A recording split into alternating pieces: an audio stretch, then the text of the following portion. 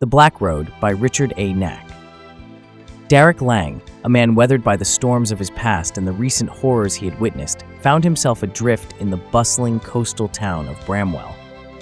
His once promising career as an officer in the Westmarch Navy had been shattered, leaving behind fragments of what could have been. Guilt and despair gnawed at his soul, a constant reminder of the fateful day he lost his best friend, Mat Hu-Ring, to the clutches of a demon. Mat's death had occurred during a mission gone terribly wrong, a mission that had led them to the ruins of Tauruk's Port, a desolate and forgotten city along the Dyre River. There, they had encountered the demon Kabraxis, a grotesque entity from the burning hells. As he emerged from a hidden gateway, his presence casting a shadow of darkness over the land. Darrick had witnessed the horrors firsthand, the carnage and destruction wrought by the demon's minions, and the agonizing moment when Mat fell to his death, his body broken and lifeless. Unable to escape the haunting memories and the crushing weight of responsibility for Mat's demise, Darrick had succumbed to a life of self destruction. He sought solace in the anonymity of small coastal villages, drifting from town to town like a ship without an anchor, taking on odd jobs as a sellsword or laborer just to keep a roof over his head and a mug of ale in his hand. The potent brew offered a temporary reprieve from the nightmares that plagued him, dreams that replayed the horrors of Tauruk's Port and the agonizing image of Mat falling to his death, his lifeless eyes staring back at him. It was in the unassuming village of Seeker's Point, nestled along the rugged coastline south of the barbarian territories, that Darrick's path took an unexpected turn. While seeking refuge in the dimly lit tavern known as the Blue Lantern, he encountered a sage named Taramis Volken. Taramis, a man of wisdom and experience, his eyes reflecting the depths of knowledge he had accumulated over the years, recognized a connection between Darrick and the demon Kabraxis. He revealed that Darrick's presence at Tauruk's Port, where he had witnessed Kabraxis's return to the mortal realm, had marked him with a unique destiny to defeat the demon and restore balance to the world. Haunted by his past and the guilt that clung to him like a shroud, Darrick initially resisted Taramis's call to action. He had spent the past year trying to bury his pain and sorrow, drowning his memories in the depths of countless tankards, convinced that he was unworthy of redemption and incapable of facing the darkness that threatened to consume him. However, the sage's words, spoken with conviction and a deep understanding of the forces at play, ignited a flicker of hope within him, a glimmer of purpose that he had long thought extinguished. With the memory of Mat's unwavering friendship and the knowledge that he could honor his friend's sacrifice by confronting the demon responsible for his death, Darrick reluctantly agreed to join Taramis on his perilous quest. Their journey led them north, away from the familiar coastlines and into the rugged wilderness that bordered the barbarian territories. Their destination was the remote home of Ellig Barrows, a descendant of Hauklin, the legendary warrior who had once driven Kabraxis from the mortal realm centuries ago. Hidden within Ellig's humble abode was Stormfury, a mystical sword forged with the power of the light to vanquish demons. The sword, imbued with ancient magic and the spirit of a righteous warrior, could only be wielded by someone touched by Kabraxis's darkness, someone who had faced the demon and survived. Upon arriving at Ellig's secluded homestead, nestled among towering fir trees and shrouded in an air of mystery, Darrick and Taramis were met with cautious hospitality. The old man, a guardian of the sword and its secrets for generations, his weathered face etched with the wisdom of ages, recognized the weight of their quest and the significance of their arrival.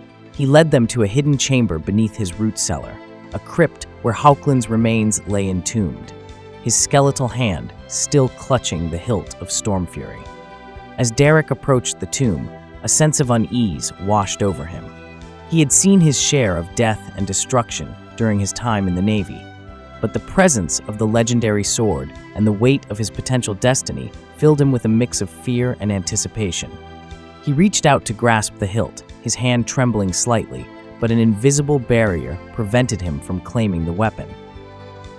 Taramis, sensing Darrick's struggle, offered words of encouragement, his voice steady and reassuring. He reminded him of the prophecy that foretold the return of Hauklin's sword, and the uniting of three individuals, one lost in death, one lost in life, and one lost in himself. Taramis believed that Darrick, haunted by his past and struggling with his own identity, was the one destined to wield Stormfury. With renewed determination, Darrick closed his eyes and focused on the connection he felt to the sword.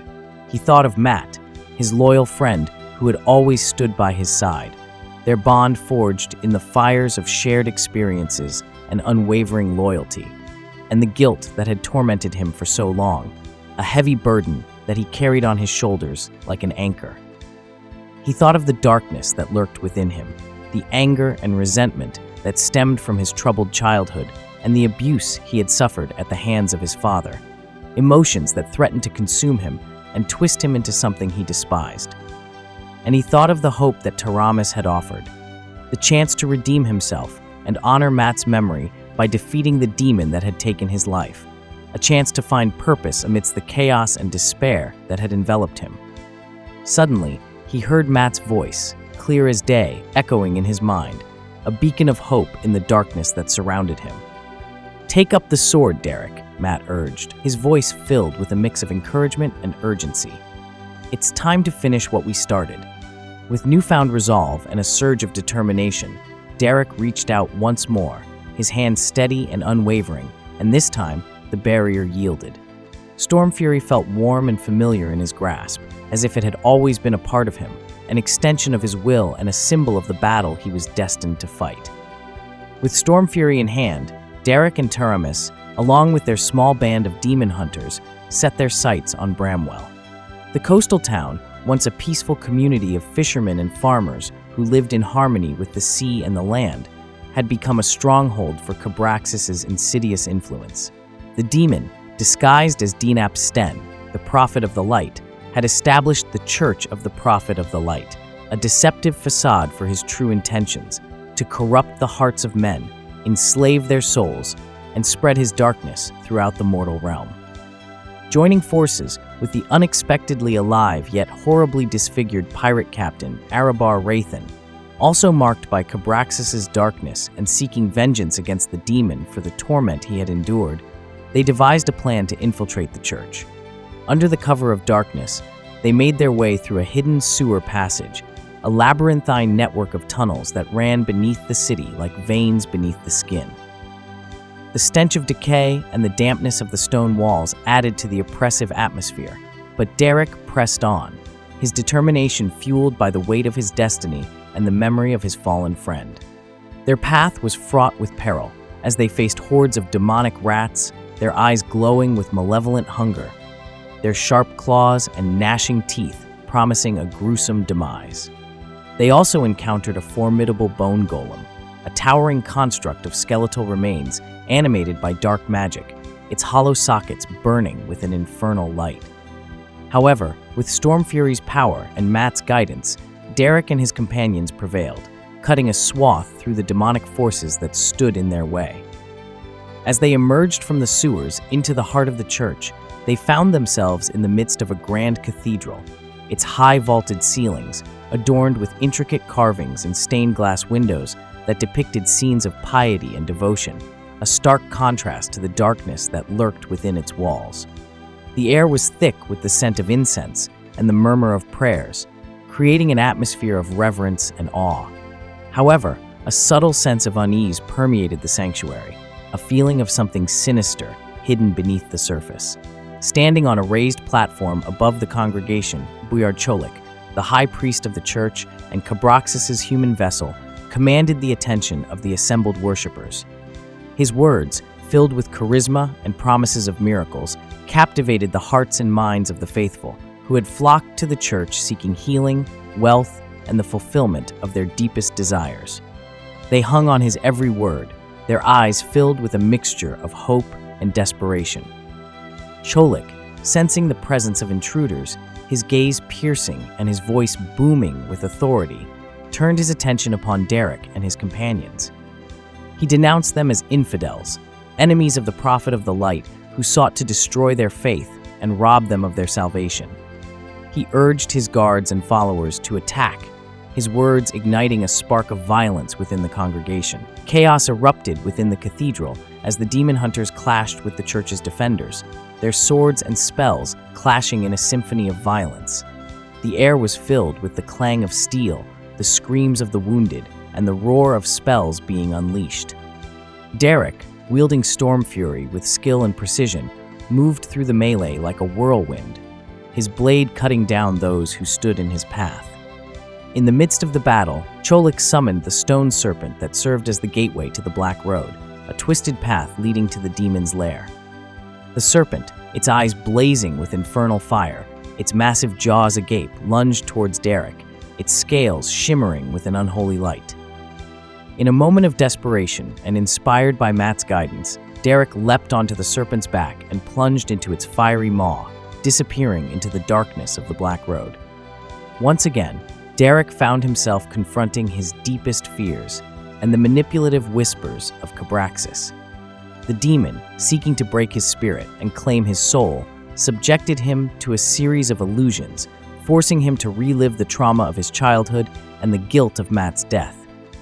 He was transported back to the stable behind his father's butcher's shop, a place where he had endured countless beatings and his father's harsh words of condemnation. He relived the moment when he had contemplated taking his own life, hanging himself from the rafters to escape the pain and despair that consumed him. Through it all, Mat's voice remained a constant presence in his mind, offering encouragement and reminding him of his true strength. With Mat's support and the unwavering power of Storm Fury, Darrick broke free from the demon's illusions and confronted Kabraxis in his true form. The demon, a towering figure of darkness with horns, razor sharp claws, and a malevolent grin, radiated an aura of power and menace. A fierce battle ensued, a clash between light and darkness that would determine the fate of Darrick's soul and the future of the mortal realm. Darrick, wielding Stormfury with skill and determination, fought against the demon's onslaught, parrying his blows and striking back with the power of the enchanted blade. Kabraxis, enraged by Darrick's resistance and the threat he posed, unleashed his full fury, summoning dark magic and unleashing waves of demonic energy that threatened to tear Darrick apart. Despite the overwhelming odds, Darrick refused to yield. He drew strength from the memory of Mat, from the hope that Taramis had instilled within him, and from the knowledge that he was fighting for something greater than himself for the sake of his friends, for the innocent lives that had been corrupted by the demon's influence, and for the future of humanity. With a final, desperate lunge, Darrick plunged Stormfury into the demon's heart, extinguishing the infernal fire that burned within him. Kabraxis let out a deafening roar, his body convulsing as the power of the light coursed through him, purging the darkness that had consumed him. His form flickered and wavered, then dissipated into a cloud of black smoke and ash, leaving behind only the faint stench of sulfur and decay, a lingering reminder of the evil that had been vanquished.